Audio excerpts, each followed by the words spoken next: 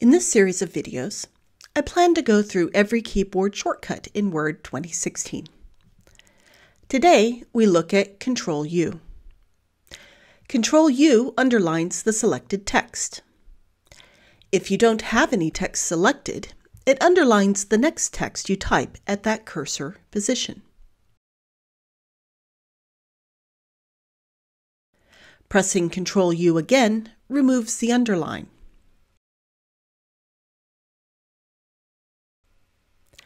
It works on most text, normal text, text in tables, text in headings, text in headers, and text in comments.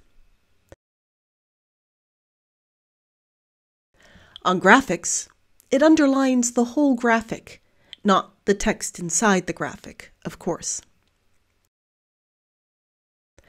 Control U is a common keystroke convention.